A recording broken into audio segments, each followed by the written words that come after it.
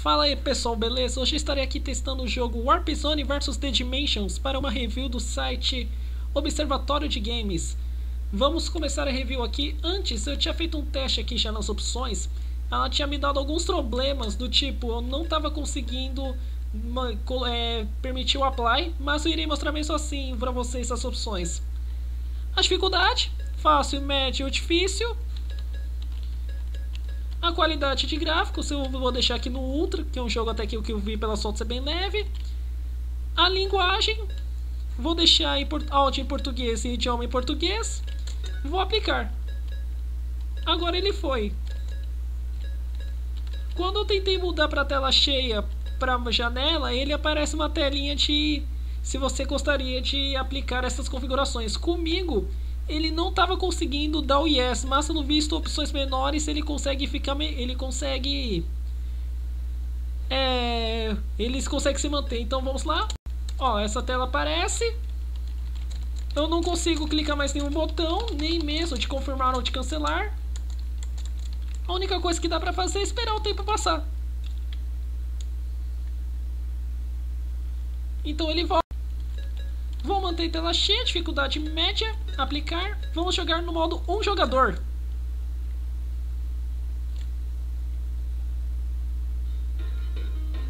Escolha seu personagem, o arpinho. Ah, pelo visto só temos o arpinho mesmo, apertar K.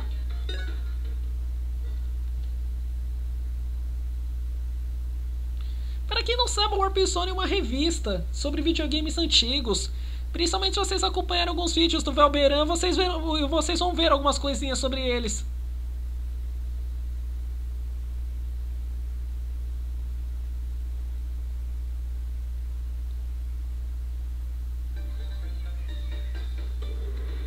Estágio 1 começando. Ah, espera aí. Pelo visto nem tem exatamente uma história. Vamos ver os comandos aqui, ela pra frente, outra pra trás. Vai. Deixa eu verificar aqui os movimentos. Porra, J-U-K, beleza.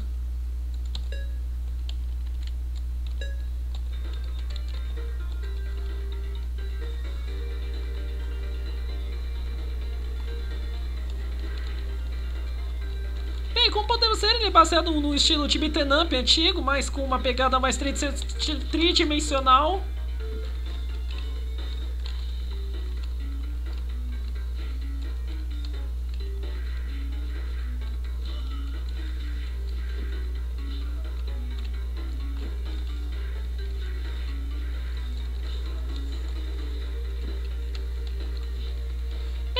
Como poder ser, o jogo é algo bem simples, até principalmente que ele foi feito na Unity e é um jogo indie. Ele é algo até que foi bem feito, principalmente pelo visual dos personagens, por, por ter esse estilo mais cartunesco, 3D.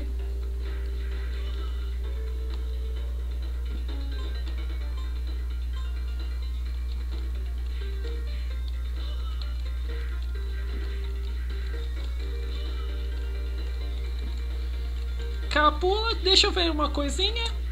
Movimentos. Hum, tem algumas combinações, vamos ver. J mais U.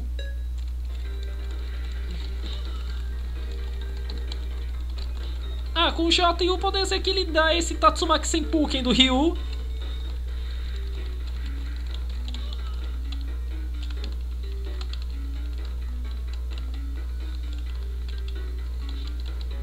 Voadora. Voadora de novo.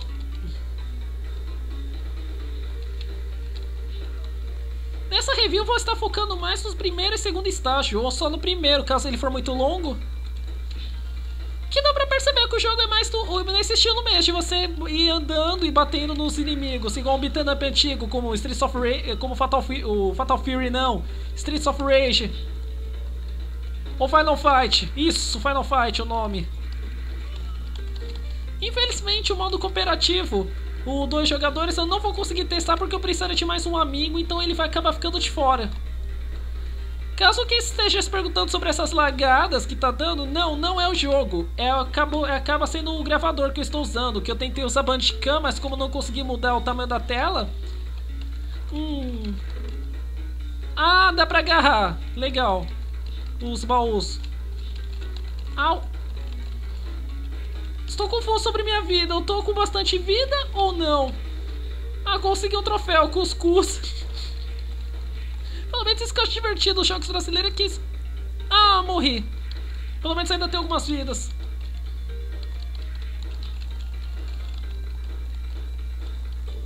Nossa, de novo esse lag aqui da gravação. É. Tatsumaki Senpuken!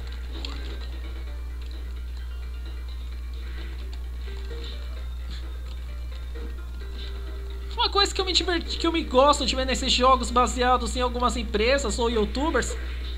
Eita! Não, eu não sei como fiz isso. Mas pelo visto eu perdi boa parte da minha vida. Eu até ganhei um troféu. Que o menor é brincadeira com a tela branca do Akuma.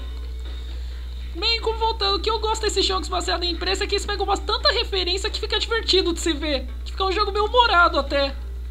Que é algo que eu percebo também da proposta desse jogo, que não é algo que se leva a sério, é mais pra você levar pela nostalgia de nossa, aquele meu joguinho que eu jogava na infância no Mega Drive, ou que meu pai, meu avô jogavam, ou meu avô via meu pai jogar e eu.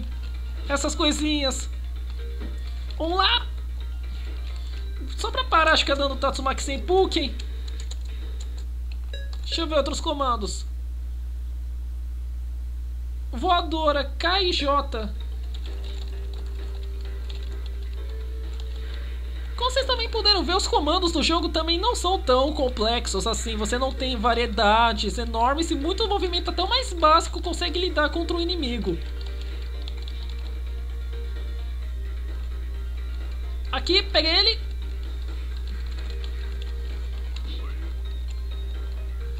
Pelo que eu andei percebendo, esse jogo tem alguns comandos secretos, como aquele comando da tela branca do Akuma, que no caso é a tela branca do Orpinho.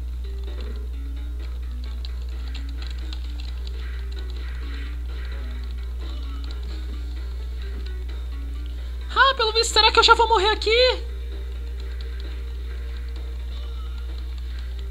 Que é uma coisa que eu achei meio bizarra é que inim alguns inimigos arcam bastante de você. Não sei se isso foi proposital ou não. Mas acho que foi para aumentar a dificuldade do jogo. E o chefe não chega nunca, hein?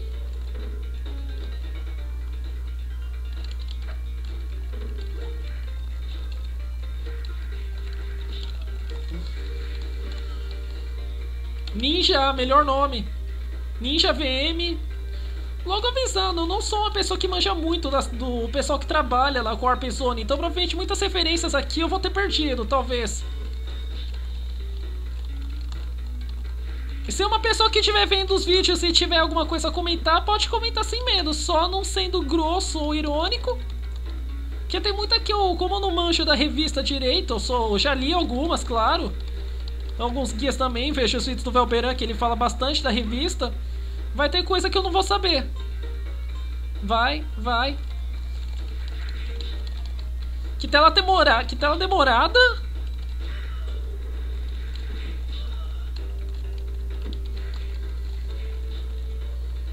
Coitado do GP. Nossa, já perdi toda a minha vida.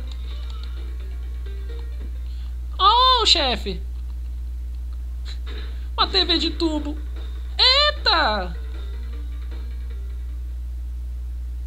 que aconteceu? O.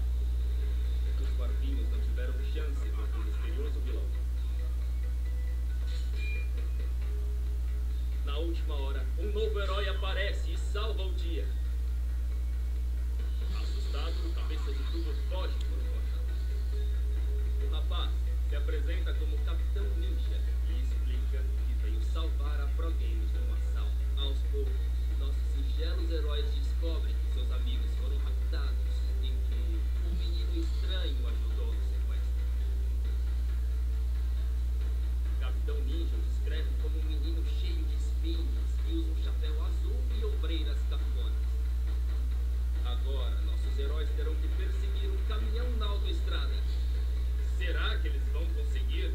Excelente dublagem, parabéns para quem fez, principalmente para um jogo indie.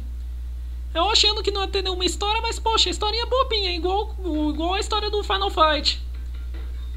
Bem, então considerações finais. Ó, oh, achei que ia tro conseguir trocar de personagem agora. Vamos reto aqui um pouco. Considerações finais do jogo. Um jogo indie, bem simples. Com um gráfico até que bonito. Não tem uma história tão... Oh, meu Deus, essa história é muito complexa. Acabei executando a tela branca de novo aqui. A ideia do jogo, como é para ser um jogo em homenagem a uma empresa, acabou sendo bem executada. Ah, o típico. Os inimigos não têm tanta variedade, praticamente são todos mudanças do mesmo inimigo. Como vocês puderam ver, ninja branco, ninja preto, ninja azul, ninja rosa, ninja amarelo. Não é a variedade, mas cada um dá pra perceber que tem uma vida diferente. Ó, oh, tela de game over. Gostei. Os comandos também não tem uma complexidade, mas mesmo assim eu vou dizer, parabéns pro pessoal que fez esse jogo indie, tá realmente bem feito. Um veredito que eu digo para esse jogo. Se esse é um jogo que você não é aquele que você vai, ó, oh, quero algo que mude minha vida. É um jogo que você pega para isso. Vou ficando por aqui. Espero que vocês tenham gostado do vídeo. Sugestões de melhoras para mim, que também, como eu sou novato nessa parte de review, eu aceito. Eh, comente, deem seu like. Aproveitem para olhar a review a mais lá no site Observatório de Games. E eu vou ficando por aqui. Fui!